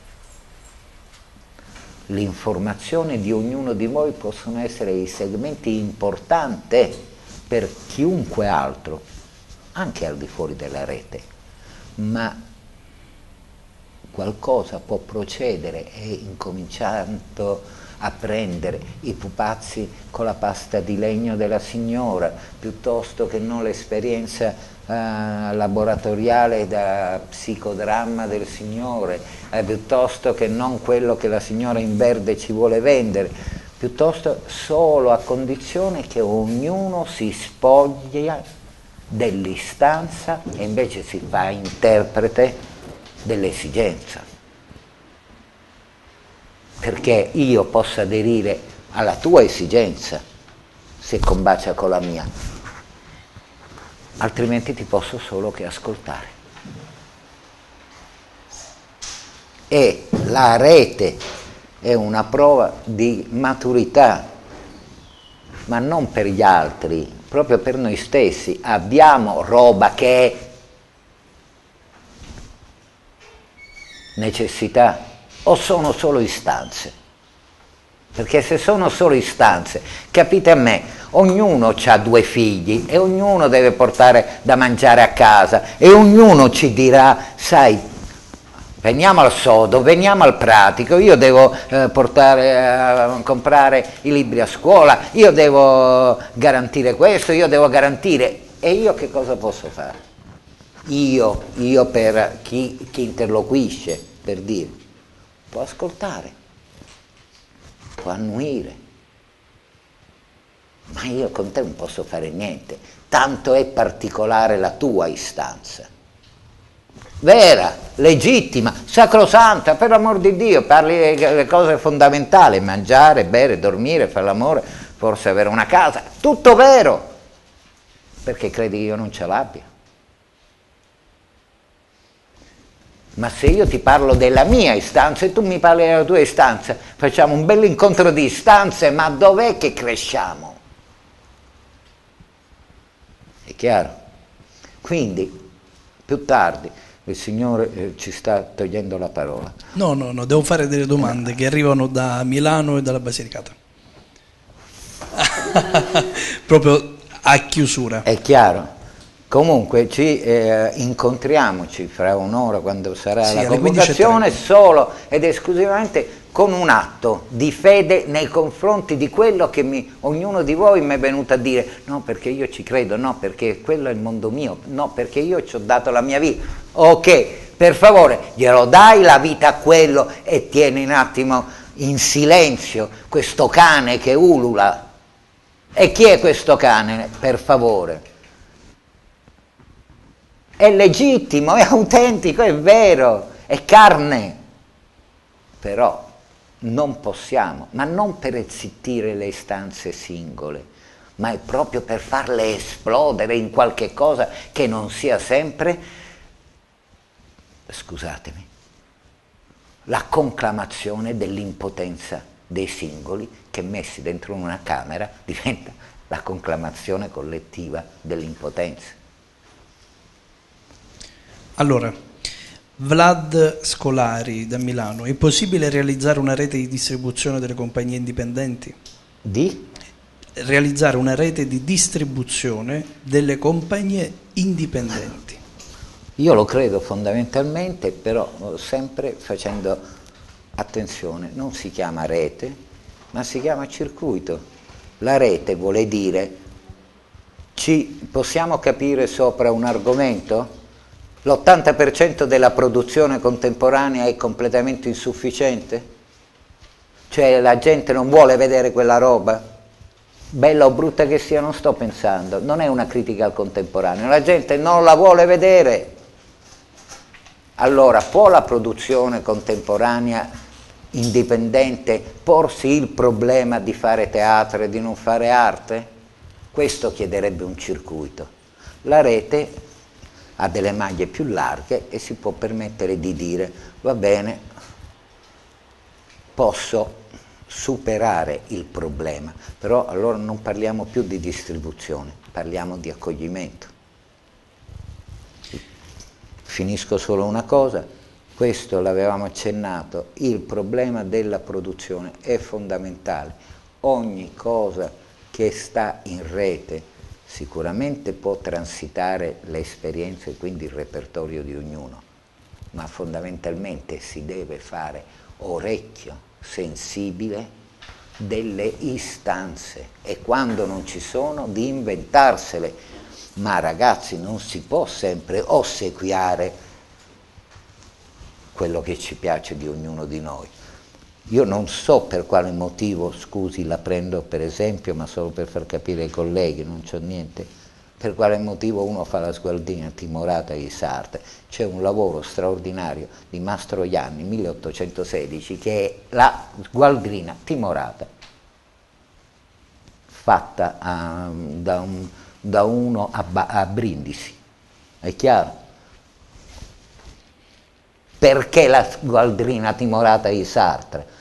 Non che va male, ma io lo devo capire. Io devo capire qual è la committenza. La committenza vuole dire che qualcuno ha detto, senti te con la maglia strisce, vi do 10.000 euro se mi fate la, la sgualdrina timorata. Almeno capisco che sopra il territorio qualcuno vuole quello spettacolo. Ma se me lo fai tu, d'amblè, mi devi spiegare perché. Perché c'è più mercato? Sondrio cercava una sgualdrina timorata? Perché è il bicentenario della morte delle sgualdrine timorate? Perché sgualdrina e la S avevate iniziato da là e questo qui era l'anno della S? Ma io ho bisogno di avere un qualcosa di più che non la vostra volontà implacabile di essere protagonisti di un mondo che non vi vuole. Perché stiamo parlando di teatro, non di una cultura astratta, di teatro, non di un'arte infinita e algida che dice vieni, guardami e apprezzami e taci e patta il teatro, io, io cosa sono in questo momento? Un, un, relatore, ma a condizione ci siete voi. Se c'era io, Murciano e le due telecamere, posso dirmi relatore? No, è il teatro. Se siete voi e i quattro fan club, si chiama teatro? No, si chiama arte si chiama sede di orazione, si chiama tutto quello che vi pare, non è teatro, perché il teatro ha una umiltà che deve essere imparata nuovamente al teatro, di sapere che lui è la metà del cielo, ma c'è pure l'altra metà.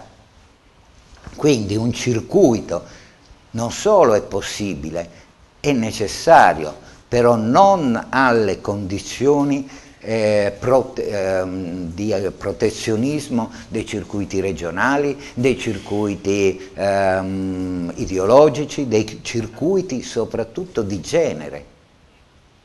Perché come dicevamo all'inizio, il teatro muore laddove viene declinato. Cioè non ci può essere negli anni 80-90 c'era il teatro di figura, il teatro della nuova drammaturgia, il teatro della quarta parete, era tutto il contemporaneo che cercava di crearsi un'eccellenza dove poter dire primo. Ora, la maturità e la consapevolezza delle nuove generazioni, su cui io credo moltissimo, può dire io sono contemporaneo, sono differente da tutti gli altri perché sono indipendente, ecco perché io vi chiedevo quanto guadagnavate. Attenzione, non perché mi interessa, ma perché se io in questo momento ho 10 euro in tasca, mi posso permettere due cose. Uno, di non andare a lavorare stamattina e due, di prendere un caffè con il Signore. Se quel denaro è l'autonomia di scelta, dall'autonomia di scelta, io, andando a parlare con lui che ha la stessa autonomia mia, so che lui sta scegliendo, non che lui viene da me e si fa e si prostra pur di avere mezzo spettacolo da me perché mi scambia per un organizzatore e io lo scambio per una risorsa del territorio che mi costa meno. Ma vedete che aberrazione, ecco, un circuito, però non una rete, perché la rete magari può avere la necessità di dire, scusate, qualcuno si pone il problema che l'anno prossimo c'è l'Expo sull'alimentazione e poi la compagnia inaugurale è il Circo du Soleil, cioè stiamo in Italia, non stiamo in Canada. Come fare a dire autonomia se poi la massima istituzione è tutti pippia eh, silenziosi? Domanda numero due. Due, Teatro Tweet da Milano. Perché direttori artistici, organizzatori, critici non vanno a vedere i nuovi spettacoli delle giovani compagnie? Non lo so, eh, bisognerebbe chiedere a loro. Bisogna chiedere a loro. Ma fondamentalmente il problema è questo. Innanzitutto ha citato tre categorie, quattro categorie, direttori artistici, critici e organizzatori. Organizzatori. Ok. Stiamo parlando di tre ambiti che non c'entrano niente. Il Signore probabilmente li mette insieme perché è appunto in quel caso è l'interlocuzione che è sbagliata. L'organizzatore se fa l'organizzatore lo inquadriamo in un mondo più tipicamente imprenditoriale e quindi come mondo imprenditoriale io ci devo fare i soldi con questo. L'80% degli spettacoli giovani, indipendentemente se bello e brutto, quindi non è un problema di qualità, è autoreferenziato e con l'autoreferenzialità non vendi. I critici sono un'altra categoria. I critici dovrebbero conferire una sorta di ehm, a plombo. E quindi chi sono i critici? Sono alcune volte i consulenti di festival e di rassegne che fondamentalmente sono una miscellanea di, eh, di collusioni politiche maniacali e lobbistiche. Quindi che mi venga a prendere a vedere un critico per mettermi in un festival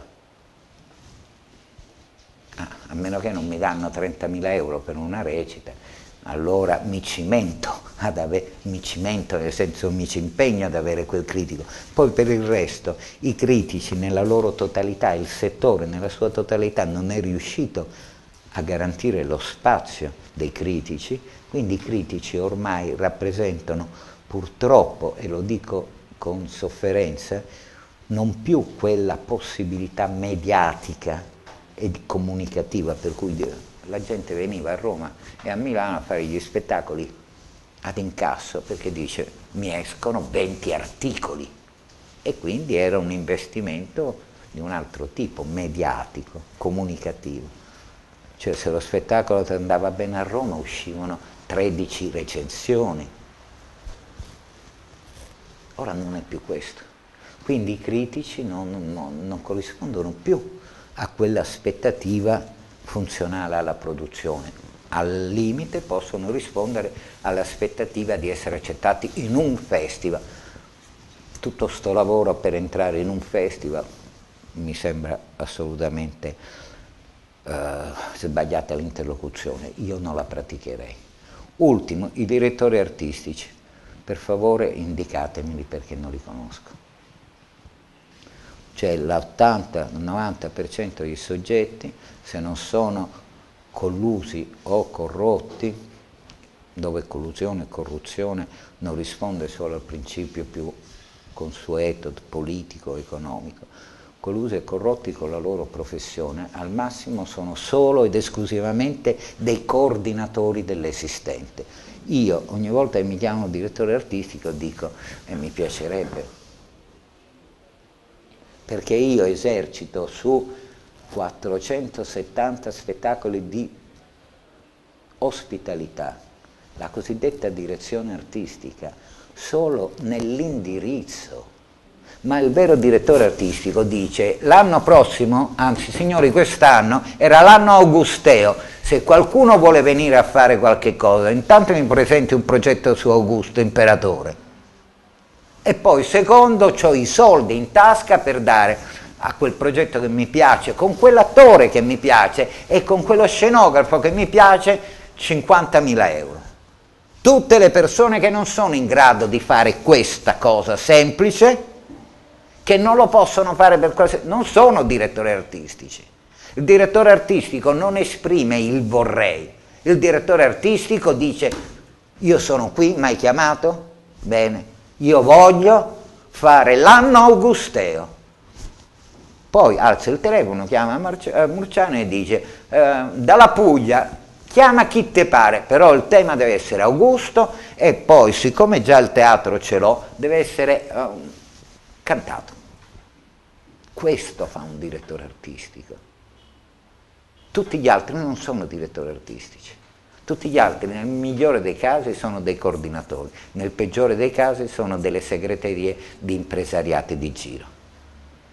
Quindi, perché non va il direttore artistico? Non va a vedere il teatro contemporaneo perché il direttore artistico non ha istanza, altrimenti se volesse vedere... Eh, qualche cosa, dovrebbe avere delle istanze.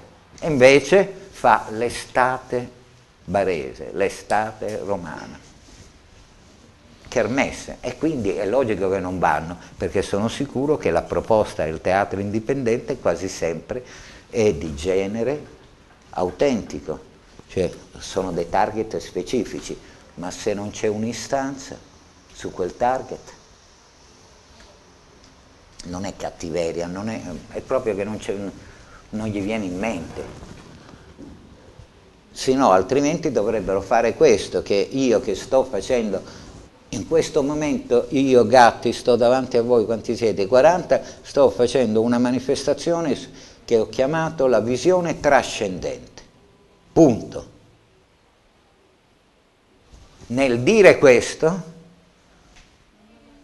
non è che non esercito nel dire che non mi interessa la squadrina timorata piuttosto che quello, io sto dando una opzione di ascoltare tutti quelli che hanno uno spettacolo su questo target. Né sono disponibile a dire, ma sai, la squadrina timorata, Sartre in quello voleva dire la trascendenza del corpo. E dai, vabbè. È chiaro, però molti di loro non sono disponibili a fare uno spettacolo sulla visione trascendente e quindi dicono tu, quindi non sempre è colpa di queste tre categorie. Io come coordinatore, non come direttore artistico, vi devo dire che a me mi chiamano, mi dice maestro abbiamo uno spettacolo straordinario per i teatri di pietra. Ah bene, che cos'è? Tutta l'antologia è Spur River Ah, e dimmi quando la fai la vengo a vedere perché mi piace. Chi la fa? Tizio Caio sempre. Ah, eppure è bella. Allora maestro facciamo dieci recite, di che? Ma cioè, come si chiama questa manifestazione? Teatri di pietra. Si chiama sede del teatrale per quello che non viene accolto dagli altri o si chiama teatri di pietra? Ah, ma allora lei come fa a dire un giornalista. Lei come fa a dire che il classico è solo greco-romano? Io infatti non dico che faccio teatro classico, io dico faccio teatro greco-romano e del bacino mediterraneo solo a condizione che il riferimento sia questo. Allora Shakespeare fa i drammi romani. E che problema c'è? Presentami un progetto su Giulio Cesare, Titus Andronicus, ma perché io devo fare? Perché quest'anno il produttore si è svegliato che voleva fare eh, Allegre Comari e dice ma Shakespeare è un classico. Ho capito, mi chiamo Teatri di Pietra, un domani voi qui farete il teatro del fieno nelle eh, cose, oppure eh, l'olivo sacro. Poi viene Gatti che eh, ormai ha fatto amicizia con voi e dice Ragazzi, c'è uno spettacolo straordinario che si chiama Metropolis. Ma eh, stai parlando con noi? Noi abbiamo gli ulivi, ci stanno morendo, però si chiama olivo sacro, ma qual è il tuo problema, gatti? Capite che non sempre il problema è dall'altra parte e lo dico sia da produttore ma molte volte da gestore delle manifestazioni. Teatri di Pietra cerca non quegli spettacoli. Qualcuno eh, mi presenta melodia primordiale, fammi capire il canto di core, ah va bene, core, la divinità sì, quella eh, arcaica, va bene, fammi, come lo metti in scena? Mi dice, ah, bene, e ci sono dentro, eh, e che musica ha? Dice no, e c'ha la musica dei Bee Gees, perché è un... No, no, fammi capire. Dice, eh, ma allora non sei contro il teatro contemporaneo? No, tu non capisci niente. E questo sarà un versante su cui vi dovete pregiare ognuno di voi. Cioè il rispetto. La rete rispetta l'identità delle persone, sì, ma anche l'identità dei luoghi che c'hai i jeans dal vivo? Per cui io sento la voce con la chitarra dei jeans? No, no, ma dai, che scherzi. E allora che vuoi da me? Perché metti i jeans? Perché io devo assecondare questo vezzo interpretativo? Lo vuoi fare? E battere in qualsiasi teatro. Ma perché dentro un teatro che la Madonna, se devo rispettare la libreria più antica e meno antica, ma perché non vuoi capire che su quelle pietre sono pietre che hanno un valore perché sono state pregate, amate, desiderate? Chi sei tu con questo vezzo di dover dire come senti eh, l'araba fenice? Il teatro è una bella possibilità di essere umili e chi non lo è, per favore, non dica che fa un altro teatro, dica che faccia un'altra cosa. Forse arte. Si vada a nobilitare degli altri e parli con Bonito Oliva e con quello che prende a parolacce tutti, come si chiama? Hai visto? Cosa Garbi. Ma non venga a disturbare il teatro che ha già tanti pensieri. Comunque, rete è una cosa, circuito è un'altra, tutto si può attivare, basta che ci sia questa misura, non degli altri, innanzitutto di quello che vuoi tu, perché se tu vuoi canali di distribuzione, la rete non serve. La rete può perfezionarli, può sostenerli, ma non è la rete è un uso improprio della parola rete. La rete è solo per la promozione del nuovo. La rete se domani si costituisce dice io che conosco 30 associazioni che conosco, chiederò a quelle 30 associazioni se vogliono affiancarmi su un'iniziativa di start-up di lavorare insieme, perché nessuno di noi ha lavorato insieme se non in maniera individuale, e quindi chiediamo, dico una fesseria, a Gatti, che è responsabile di una rete, di parlare con i teatri di pietra perché abbiamo un sito archeologico che la donna poc'anzi che fotografavo mi ha detto che esiste, che è um, il chiostro del museo archeologico là, affinché noi tutti ci sperimentiamo nello stare insieme in un progetto. Questo fa la rete. Perché altrimenti se io sopra questo foglio vi interrogo ognuno e ognuno di voi mi dà i suoi titoli, signori, io ho semplicemente un elenco di titoli meravigliosi della produzione contemporanea a Bari e dintorni, ma non ho materiale per fare un progetto competitivo. Perché, piccola parentesi, a Palermo è in programmazione la sgualdrina timorata. E non vado a indagare che cosa fa ognuno di voi, competitivi, significa essere unici. Io mi riserverò di stare a sentire l'ipocondriaca o il signore che dice farà attore, ma a condizione che mi dica un qualche cosa che mi arricchisca, che sia unico, non posso sempre sentire la stessa cosa. Dice sì, però la fa l'ipocondriaca. Non ho capito. La fa e quindi solo per questo io gli devo riconoscere una plusvalenza. Ma siamo fuori. Quale diritto alla vita ognuno di noi ha? È un'impostura, perché se ci fosse diritto alla vita eh, non dovremmo assistere a 1312 delitti in famiglia, no? A 4600 morti sul lavoro. Quindi non c'è nessun diritto alla vita tantomeno alle idee. Togliamo le imposture, parliamo di cose vere, cose da fare, sì, però per favore scrostiamo questo carattere di aurea. Non c'è nessuna aurea, c'è la concretezza. La concretezza significa che io mi permetterò forse di finire questa giornata non di sfidare, di mettere una prova e dire guarda, eh, maestro, vi volete fare voi interprete? Ok, ho deciso. Movimenterò quelli delle alterazioni che bene o male si mantengono, hanno qualche, per uh, comunque investire qua. Cioè vuole dire se la cosa costa 10 di mettere 5.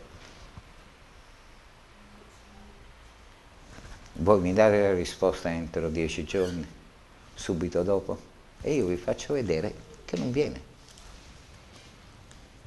Neanche con un'istanza così dettagliata. Grazie. Allora, volevo ringraziarla e un attimo giusto per chiarezza, siccome c'è una terza domanda alla quale eh, voglio dire potremo rispondere in realtà alla fine della giornata e visti i tempi io ve la sottopongo, Ciononostante sicuramente ne faremo dopo un sunto e pubblicheremo su internet eh, sull'hashtag Reteatro in modo tale che diciamo, la committenza in qualche maniera possa essere ehm, ah, soddisfatta della risposta. La domanda comunque era questa, viene dalla Basilicata di, di Alessandra Coretti. Mi piacerebbe sapere come creare una rete che tenga conto delle peculiarità di ogni componente del network. Pensando alla rete di, di relazioni non come un brand, ma come nuove metodologie di sviluppo. Eh, questo sarebbe interessante, giusto spostarla alla fine, sì. ma solo perché fino adesso io mi sono cimentato, eh, vorrei eh, sempre chi di voi ci sarà con il patto, non scritto, ma ve l'ho richiesto io, di capirci una volta per tutte. Lasciamo perdere gli studenti, mi perdoni, che hanno questo afflato e la conoscenza, no? ma gli altri devono posizionarsi in una qualsiasi geografia. E questa è una geografia dell'essere, non del fare. È chiaro? Noi non so se farò qualcosa con te, ma io devo trovare un ambito in cui tu innanzitutto sei, però per favore vieni all'appuntamento che sei.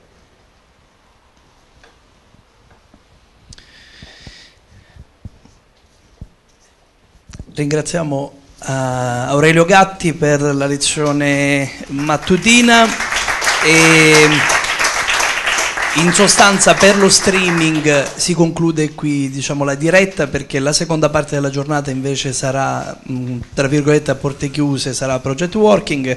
E, ehm, Voglio dire per quanto riguarda lo streaming che le domande possono continuare ad esserci, tanto che la domanda da Alessandra Coretti verrà, diciamo, eh, da, la risposta da Alessandra Coretti verrà data appunto online di concerto con lui e niente, quindi ci trovate online, seguite gli aggiornamenti per eh, lo streaming, ci rivediamo il 19. Questo è quanto. Arrivederci e una buona giornata.